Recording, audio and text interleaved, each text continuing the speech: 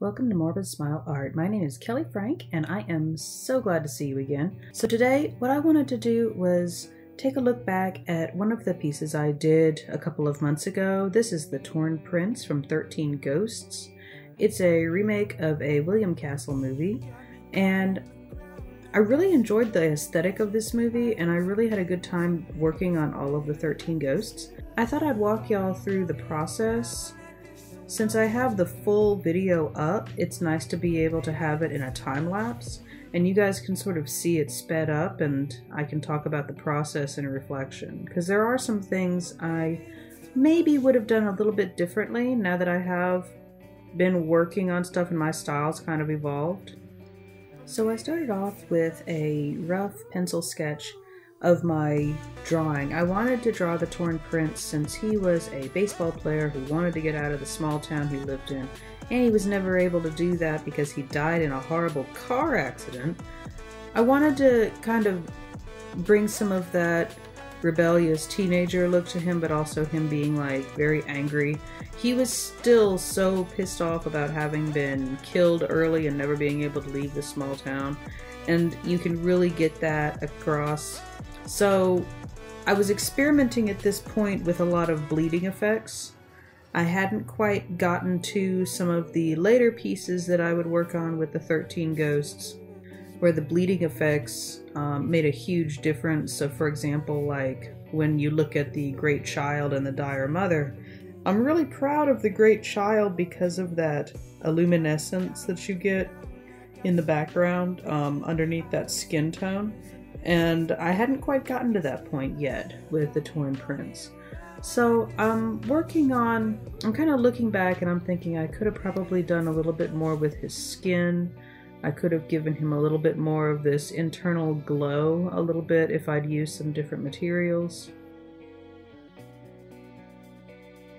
One of the things I like to keep in mind with this piece though is that it and the Withered Lover, I was working on these while I was waiting in a cubicle I was, my sister works during the day and, and we were basically getting ready to go to the um, Atlanta Aquarium that day. So I was kind of hanging out and working on art projects in between while she finished her workday up. And while it was a good time and a good opportunity to get stuff done, I if I had had access to some of my Dr. P.H. Martin's Hydrus watercolors, I feel like I could have given this a little bit more oomph that it needed, but it still looks really good. I'm really enjoying the line art, the coloring, and even though it looks a little bit washed out in places around the jacket and stuff, that kind of fits the character. And I I still really like this piece, and I didn't think I would looking back on it.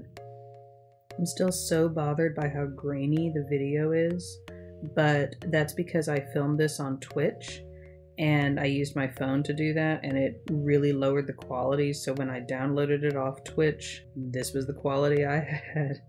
So that's that was cool. Now I gotta say I had such a good time with those blood effects just the spattering and everything and also his pose and facial expression man I had such a good time with it but that blood spatter man that that still makes me really happy looking at that because he had road rash basically. He was in a car accident and got dragged on his face. And you can tell that from the injuries. Just gruesome, brutal stuff.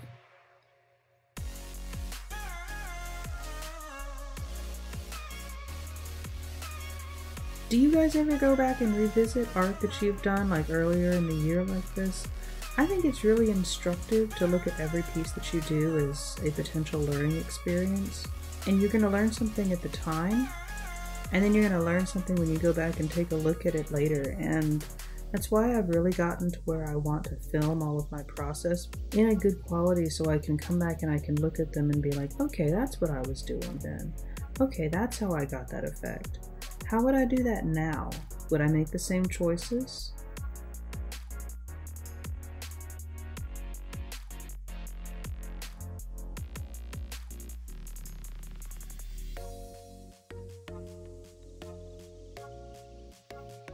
And oof, I'm still really happy with how nicely that turned out at the end. I love the line art, I love his expression.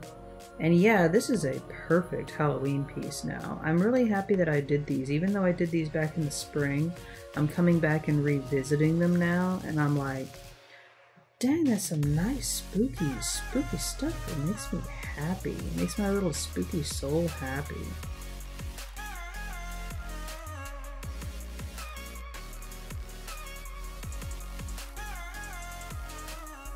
We're still doing a lot of festivals and shows right now, and I'm still just really, really busy all the time. Follow, subscribe, all the good stuff. Uh, check out my Patreon if you're interested. I have lots of other neat stuff there, including full length videos of some of my work so you can see step by step uh, in real time how everything came about. And take care and stay spooky, and I will see you all next week.